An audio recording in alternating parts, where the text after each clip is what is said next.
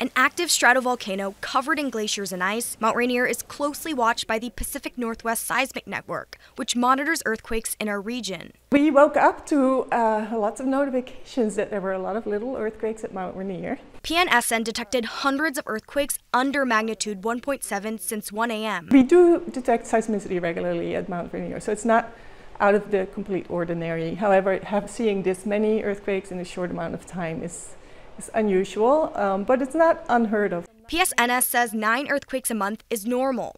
This is the largest swarm of earthquakes since 2009. Swarms typically happen one to two times a year, but it's usually smaller in terms of the number of quakes. The last large swarm at Mount Rainier in 2009 had over a thousand small earthquakes. As the earthquake experts do their jobs monitoring the mountains, they say all we need to do take in the beauty. I have probably like 5,000 photos of just the mountain. The snow-capped peak and like a clear day, it's just, oh, it's so good every time.